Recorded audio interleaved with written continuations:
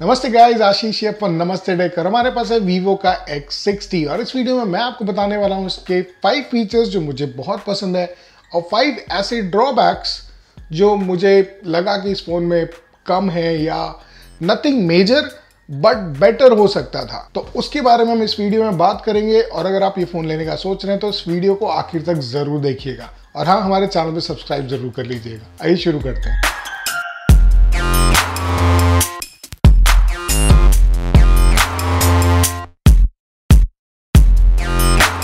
तो जो सबसे पहला फीचर है, वो है इस फ़ोन की थिननेस हम लोगों ने V20 और V20 Pro के वीडियोस बनाए थे और सेम पॉइंट मैंने कहा था कि एक बार एक इतना थिन फ़ोन यूज़ कर लो, आप दूसरे फ़ोन कोई भी फ़ोन हो, आप उस पर स्विच करोगे, वो फ़ोन आपको थिक लगेगा. दिस इज़ 7.38 पॉइंट mm और ये शायद one of the thinnest phone है फ़िलहाल मार्केट में. और मैंने V twenty V twenty pro जब यूज़ किया था और ये जब यूज़ किया सेम कहानी। मतलब दूसरा कोई भी फ़ोन हो मेरे पास, वो मुझे मोटा लगेगा। ठीक है जनरली लोग केस के साथ यूज़ करते हैं, वो एक अलग चीज़ हो गई। बट अगर आप केस नहीं यूज़ करते हो और आप फ़र्स्ट टाइम इस फ़ोन को हाथ में लोगे, आप रियलाइज़ करोगे कितना थिन है। बिल्ड क्वालिटी की अगर मैं बात करता हूँ, सामने आपको एमलेट डिस्प्ले और गोरिल्ला ग्लास वगैरह मिल रहा है, कोई दिक्कत नहीं है। डिस्प्ले का जो रेशियो है वो भी, भी अच्छा है। तो डिस्प्ले से कहीं कोई पंगा नहीं है। बिल्ड क्वालिटी आपको प्रीमियम ही मिलती है। एक प्रीमियम फीलिंग देना फ़ोन में ये एक अपने आप में एक आर्ट है। सेम चीज़ यहाँ पे हुई है कि वीवो का V20 का जो overall build quality premium feel fantastic अब बात करते हैं परफॉर्मेंस की और डिस्प्ले की। दोनों की बात करते हैं। तो आपको मिलता है इसमें स्नैपड्रैगन 870 8 जीबी का रैम और साथ में U F S three point one U F S three point one is like S S D अगर आपका कंप्यूटर स्लो चल रहा है तो आप एस एस डी लगवा लो, अपने आप फास्ट हो जाएगा। U F S three point one की कहानी भी कुछ इसी तरह की है। Application installation application loading game के परफॉर्मेंस सब कुछ U F S three point one में बेटर फील होता है। अगर U F S three point one नहीं है, थोड़ा स्लगिश लगेगा कंपेयर अगर दूसरे फ़ोन से आप करते हैं जिसमें नहीं है। तो इसके कारण एक बहुत सूदिंग एक्सपीरियंस देता है। आपको लोडिंग में इट्स लाइक like, आप ऐसे समझ लो अगर आप इंटरनेट से 10 एम में डाउनलोड कर रहे हो लेकिन आपका जो स्टोरेज है वो उतनी स्पीड में राइट नहीं कर सकता।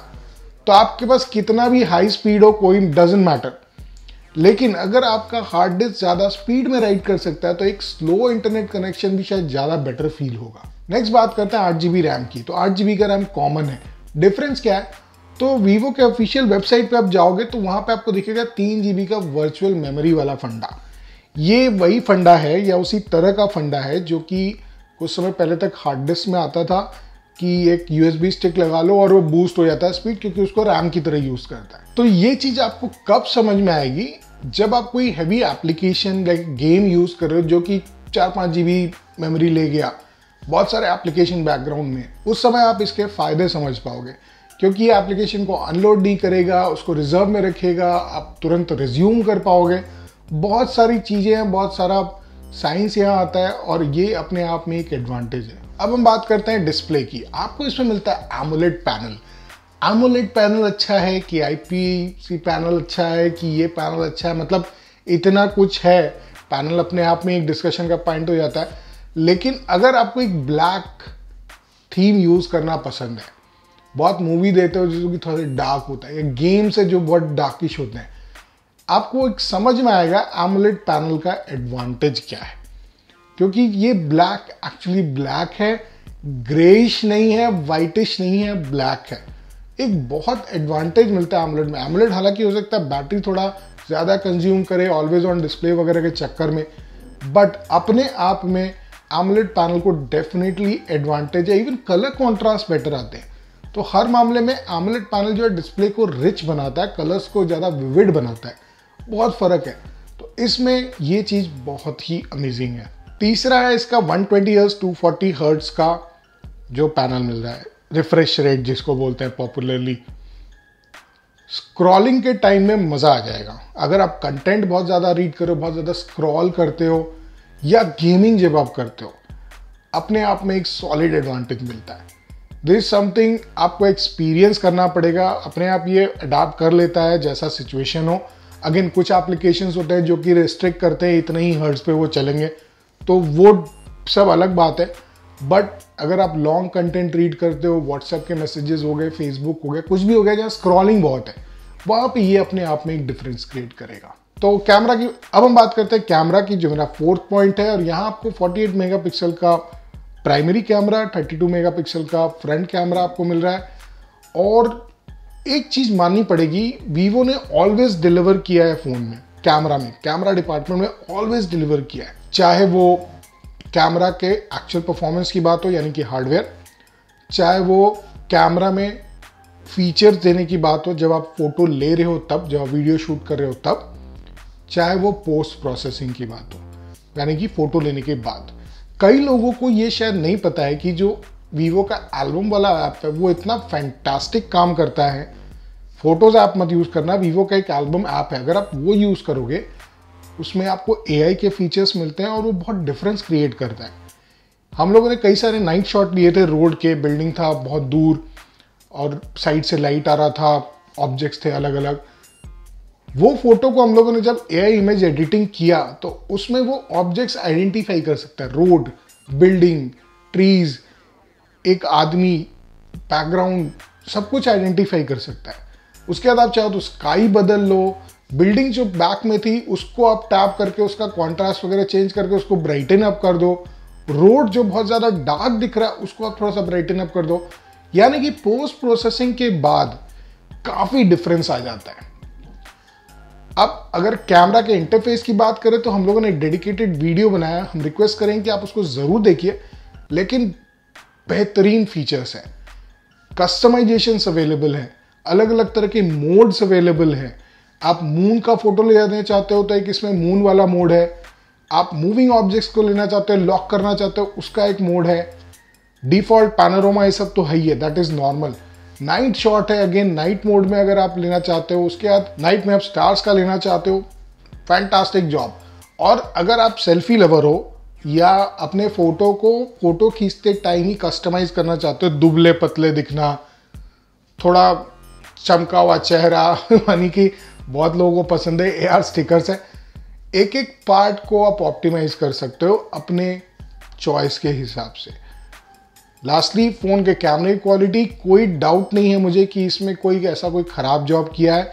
बहुत ही अच्छा जॉब किया है यहाँ पे। बस इतना ज़रूर कहूँगा कि सेल्फीज इतने इतने इम्प्रेसिव नहीं है। ये एक छोटा सा ड्रॉबैक मुझे लगा। मेजर नहीं है, लेकिन सेल्फी लवर्स थोड़ा सा इसको लाइक नहीं करेंगे। तो चलिए, ये तो होगी कैमरा के बाद अब लास्ट बात करते हैं फन टच ओएस की। फन टच ओएस अगर मैं मैं वीवो का फ़ोन बहुत यूज़ किया है मैंने, और आई हैव सीन कि एक ब्लोटेड ऑपरेटिंग सिस्टम एक हैवी ऑपरेटिंग सिस्टम से ये अब कहाँ पे आ गया है कि it is one of the सबसे बेहतरीन ओ एस स्किन है अभी या कुछ भी आप जो भी बोल लो इसको। हैवी नहीं है ब्लोटवेयर्स कम हो गए हैं और लैग नहीं करता एज ओ कि कुछ सर्च करना है तो लैग करने लग जाए, नहीं, वो वाली बात नहीं है। पॉलिश्ड आइकन्स है। सेटिंग्स को बहुत अच्छे से किया है कि जनरल पब्लिक समझ सके। ये सब चीज़ें बहुत ज़्यादा मैटर करती है एक कंज्यूमर के हिसाब से। इसमें बहुत सारे फीचर्स हैं। जनरल जो फ़ोन में मिलते हैं, वो भी फीचर्स हैं। App lock second space I manager app है फिंगरप्रिंट फेस अनलॉक सब कुछ है। बट जो यूज़ करने का एक्सपीरियंस है, मैं उसी पे ही ज़ोर दूँगा कि यूज़ करने का एक्सपीरियंस बहुत अच्छा है, जो कि मेरे हिसाब से सबसे प्राइमरी चीज़ होनी चाहिए आज के फ़ोन में। हम लोगों ने इसके ऊपर भी एक वीडियो बनाया fun touch O S eleven आता है, जो कि एंड्रॉयड इलेवन पे है। आप वो वीडियो ज़रूर देखिए, आपको बहुत ज़्यादा डिटेल समझ में आएगा। अब हम बात करते हैं इसके ड्रॉबैक्स की है जो फीचर्स मुझे नहीं समझ में आए। पहला, ये फ़ोन वीडियो लॉगर्स के लिए नहीं है। अगर आप टिकटॉक में रील्स बनाते हो, या इंस्टाग्राम में रील्स बनाते हो टिकटॉक में वीडियोस बनाते हो फेसबुक में आप वीडियोस बनाते हो ये फ़ोन आपके लिए नहीं है। बहुत सारे फीचर्स मिसिंग है और एक बग भी है इसमें कि ज़रा ten eighty P P S पर अगर आप वीडियो शूट करोगे तो फोकसिंग का इशू और एक फीचर जो नहीं है, जो मुझे पर्सनली लगा कि इसमें होना चाहिए, दोनों कैमरा आप एक साथ नहीं यूज़ कर सकते। कई बार होता है कि मुझे कुछ दिखाना है या एक वीडियो लॉगर है, उसको कुछ दिखाना है, अपने आप को भी दिखाना है, दोनों चीज़ें एक साथ। वो इसमें नहीं है। ऐसा कुछ नहीं कि प्रोसेसर इसका वीक है। प्रोसेसर इज़ फैंटास्टिक लेकिन ये फीचर नहीं है इसमें। जो कि बहुत सारे वीडियो लॉगर्स को नहीं समझ में आया कि ये क्यों नहीं है, होना चाहिए था। सेकेंड जो ड्रॉबैक है इसके कैमरे का, बोल लो, वो है कि जब आप 1080p 60 fps पे जब वीडियो रिकॉर्डिंग करते हो तो फोकस का इश्यू है। ये हो सकता है सॉफ्टवेयर से सॉल्व हो जाए बट ये इशू है। और जो स्पेशली वीडियो लॉगर्स है, या जो वीडियो बहुत ज़्यादा शूट करते हैं, वो इस मोड को ज़्यादा पसंद करेंगे। क्योंकि क्वालिटी बेटर आती है। तो अगेन एक ड्रॉबैक है। आई होप ये सॉफ्टवेयर से सॉल्व हो जाए बट करेंटली ये ड्रॉबैक तो है। अब हम बात कर रहे हैं छोटे छोटे ड्रॉबैक्स की, जो कि सॉफ्टवेयर लेवल पे हार्डवेयर लेवल पे नहीं है, और ये कई बार हम लोगों ने फ़ोन में देखा है आते हुए। तो पहला कि भाई मैसेंजर को अभी भी आप डुप्लीकेट नहीं कर सकते हो। ये शायद इशू कई सालों का है। कभी नहीं सपोर्ट किया। उसके बाद जो डेटा कंजम्पशन है, जो मोबाइल डेटा कंजम्पशन है, वो नोटिफिकेशन सेंटर या एक्शन सेंटर में नहीं आता। ये एक ऐसा फीचर है जिसको लोगों ने कई बार पूछा है कि ये है कि नहीं है और ये एक्चुअली नहीं है। होम स्क्रीन की सेटिंग्स में भी लिमिटेशंस है। आप जो भी को डिसेबल नहीं कर सकते, जो भी हर तरफ़ है बट उसको एक कस्टमाइजेशन से निकाल सकते हो रिमूव कर सकते हो बट कम्प्लीटली डिसेबल का ऑप्शन नहीं है। अगर आप न्यूज़ फ़ीड वगैरह करते हो तो आप वहाँ चेंज कर सकते हो। बट कंप्लीटली डिसेबल का ऑप्शन नहीं है। तो ये छोटे छोटे सॉफ्टवेयर बग्स हैं या फीचर नहीं है या इम्प्लीमेंट होंगे शायद, क्योंकि मुझे याद है वीवो वी ट्वेंटी में भी यही प्रॉब्लम हुआ था। फेसबुक भी और व्हाट्सअप ब्यूटी मोड नहीं है। इसमें तो खैर दे रखा है इन लोगों ने सिक्सटी में बट उसमें ये नहीं था। नेक्स्ट बात करते हैं बैटरी की। तो बैटरी स्ट्रिक्टली ओकेश है। खराब है ऐसा बोल नहीं सकते, उसका रीज़न है कि ऐसे तो आपको 4300 mAh की बैटरी मिल रही है एकदम ठीक ठाक निकल जाता है बट मुझे ज़्यादा एक्सपेक्टेशन था, क्योंकि ओवरऑल परफॉर्मेंस ओएस की प्रॉब्लम नहीं है तो मुझे लगा बेटर होगा, और यहाँ पे अपना अपना चॉइस भी आ जाएगा बिकॉज़ एक जो एडवांटेज यहाँ मिलता है फास्ट चार्जिंग आपको मिल रहा है, आप आधे घंटे में 50 परसेंट फ़ोन चार्ज कर सकते हो तो इस तरह का एडवांटेज है बट एक एक्सपेक्टेशन लेवल क्योंकि वी ट्वेंटी प्रो और वी ट्वेंटी में बैटरी लाइफ मुझे बहुत अच्छी मिली थी। ऑलमोस्ट आसपास कई बैटरी है बट यहाँ पे बैटरी थोड़ा सा प्रॉब्लम है। और जो एक लास्ट ड्रॉबैक है, वो है कि इसमें मोनो स्पीकर है। क्यों भाई? एक स्पीकर से दो स्पीकर होते हैं तो लाउडनेस बेटर होता है। ऐसा नहीं कि साउंड की क्वालिटी में प्रॉब्लम है बट लाउडनेस में प्रॉब्लम है। ऐसे बहुत लोग हैं अभी भी जो स्पीकर पे सुनते हैं। वर्कआउट कर रहे हैं ब्लूटूथ वगैरह नहीं यूज़ करते हैं, या नॉर्मल बैठे हैं भाई, कान में कुछ नहीं लगाना स्पीकर पे चलाना सब कुछ। उन लोगों को ये थोड़ा सा डिसअपॉइंटमेंट लगेगा I am very very sure mono speaker होने से लाउडनेस कम हो जाती है, फिर वो वही है कि आप ईयरफोन लगाओ। तो यहाँ पे अगर डुअल स्पीकर होता तो वो एक ज़्यादा बेटर ऑप्शन होता। तो दोस्तों, ये थे Vivo X60 के पाँच अच्छे फीचर्स जो मुझे पसंद आए, पाँच फीचर्स जो मुझे ड्रॉबैक नहीं पसंद आए। ओवरऑल फ़ोन अच्छा है बट डिसएडवांटेजेस की तरफ़ ध्यान रखिए, उसको सुनिए, उसको देखिए और फिर डिसाइड करिए कि फ़ोन लेना है कि नहीं लेना है। अगर आप एक वी लॉगर है तो इस फ़ोन को अवॉइड करिए। प्राइमरी कैमरा का परफॉर्मेंस बढ़िया है तो उस पॉइंट ऑफ़ व्यू से कोई प्रॉब्लम नहीं है परफॉर्मेंस में कोई प्रॉब्लम नहीं है। एक्सेप्ट जो एक कैमरा सेंट्रिक फ़ोन में कुछ फीचर्स होने ही चाहिए। जैसे कि वीडियो में स्टेबलाइजेशन होना चाहिए और वी के अलग अलग मोड्स ज़्यादा होने चाहिए, वो सब इसमें नहीं है। तो दोस्तों, अगर आपको वीडियो अच्छा लगा तो इस वीडियो को ज़रूर लाइक करेगा शेयर करें अपने दोस्तों के साथ। देखने के लिए धन्यवाद।